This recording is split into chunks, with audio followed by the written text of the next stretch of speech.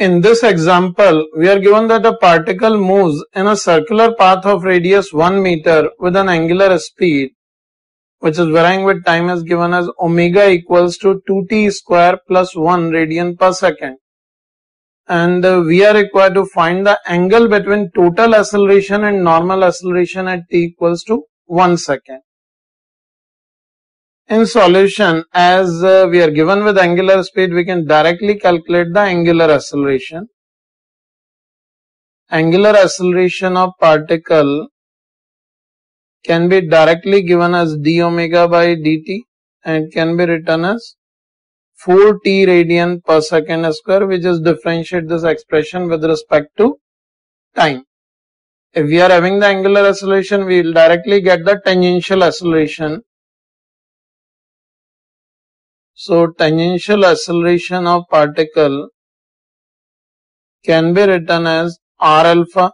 Here we can see r is equals to 1 meter. So we can write r alpha this equals to 40 meter per second square and we are required to find the angle between total and normal acceleration at 1 second. We also calculate tangential acceleration at 1 second.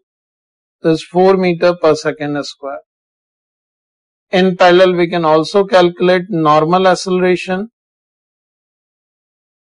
You know, normal acceleration of particle can be given as omega square r. If we put the value of omega here, it will be 2t square plus 1 whole square into r. r is 1. In this situation, we are given that r is 1 meter. So, if we square it, we'll get 4t to power 4 plus 4t square plus 1 and if we calculate it at t equal to 1 second we'll get 4 plus 4 plus 1 it is 9 meter per second square. So this is the normal acceleration of particle at t equal to 1 second. This is the tangential acceleration at t equals to 1 second.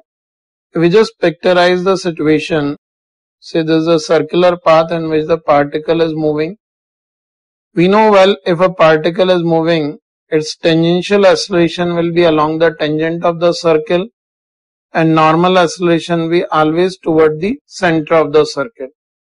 And the resultant of tangential and normal acceleration is the total acceleration. This is the total acceleration. And at t equals to 1 second, when tangential acceleration is 4, normal acceleration is 9, we are required to find the angle between total and normal acceleration That means we are required to find this angle theta.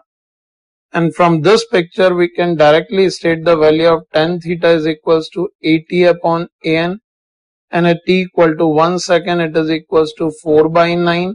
So angle theta can be written as tan inverse of 4 by 9. That is the answer to our problem where we are required to find the angle between total and normal acceleration at t equal to 1 second.